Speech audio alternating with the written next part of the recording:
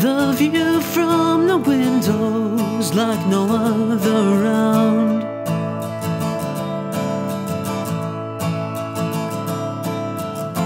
Floating high above the surface of Mars, looking for a place to touch down.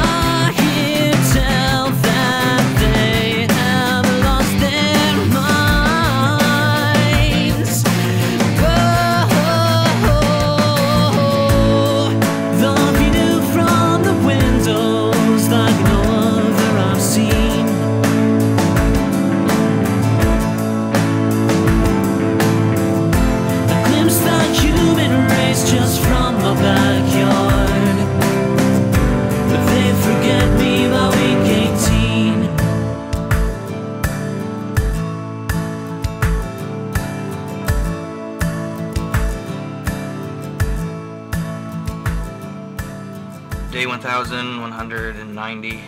I've been on Mars for over two, maybe three years now. I'm still here, taking pictures every day. It's beautiful out here. A couple days ago, I received a message from home. It read, We are in a state of crisis. Your services are no longer needed. Your friends and family have been notified that we cannot rescue you. We don't have the resources anymore. You have served and honored us. You'll be remembered. Godspeed. Just like that. Cameras on, but no one's watching. Faces looking at the floor and never up. Lost the picture I took through the window.